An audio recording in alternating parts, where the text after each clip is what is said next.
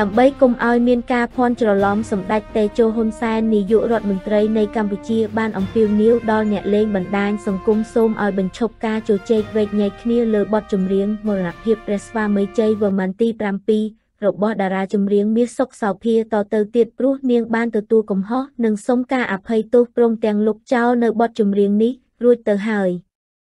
ការអំពាវនាវរបស់ប្រមុខរាជរដ្ឋាភិបាលនេះបន្ទាប់ពីសម្ដេចបានឃើញការបញ្ចេញមតិ comments របស់អ្នកលេងបណ្ដាញសង្គមមួយចំនួនដែលចង់ឲ្យមានការចាត់ការតាមផ្លូវច្បាប់លើតារាចម្រៀងមាសសុកសោភា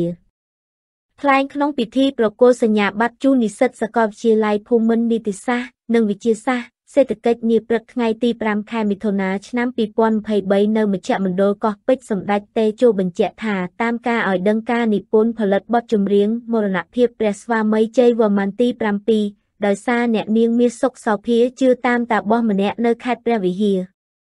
ជំនួយការនឹងអ្នកដែលនិពន្ធបទចម្រៀងនេះឲ្យតារាចម្រៀងមាសសុកសោភាពិតជាខ្សោយខ្លាំងណាស់ ដោយសម្ដេចលើកឡើងសូមបីករណីដាក់ចំណងជើងបទចម្រៀងពាក្យមរណភាពប្រើសម្រាប់មនុស្សធម្មតាចំពោះក្សត្រត្រូវប្រើរាជស័ព្ទគឺការសោយទីវង្គត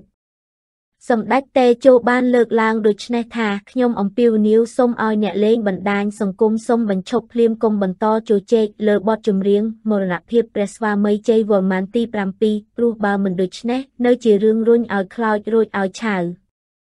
ខ្ញុំចូលទៅមើលក្នុង Facebook មួយគឺរបស់អ្នកនាងមាសសុកសោភាដែលគាត់ភ្ជាប់នៅការបង្ហោះរបស់ក្រសួងវប្បធម៌និងវិចិត្រសិល្បៈដែលមានការផ្ដល់ mote comments ថាគួរតែចាត់ការលើផ្លូវច្បាប់ខ្ញុំសូមអង្វរគ្នាបានជាជ្រួលជ្រួសទៅហើយហើយគ្នាក៏បានសុំទោសគ្នាក៏បានដកចេញឥឡូវតើត្រូវចាំបាច់ត្រូវធ្វើរឿងនេះឲ្យបន្ថែមលើរឿងទេគុំរុញឲ្យខ្លោចគុំរួចឲ្យឆៅស្ងប់ស្ងៀមទៅ។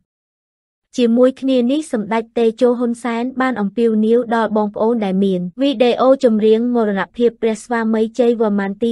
7សូមគុំយកទៅចាក់ផ្សាយឬចែកចាយបន្តទៅទៀតគឺលុបចោលទៅគុំឲ្យនៅសេសសល់សម្ដេចតេជោក៏បានអរគុណដល់តារាចម្រៀងមាសសុកសោភាដែលបានធ្វើការសុំទោសនិងបានលុបចោលទាំងអស់នៅបទចម្រៀងនេះសូមជម្រាបថា កាលពីថ្ងៃទី4ខែមិថុនាឆ្នាំ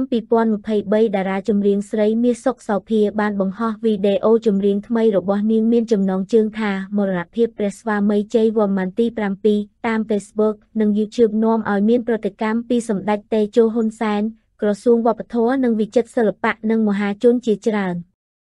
ប៉ុន្តែបន្ទាប់ពីមានប្រតិកម្មខ្លាំងតារាចម្រៀងរូបនេះ ក៏បានធ្វើការសុំទោសសម្ដេចតេជោនិងក្រសួងវប្បធម៌និងវិចិត្រសិល្បៈនិងសាធារណជនហើយបានលុបចោលទាំងអស់នៅបទចម្រៀងនេះ។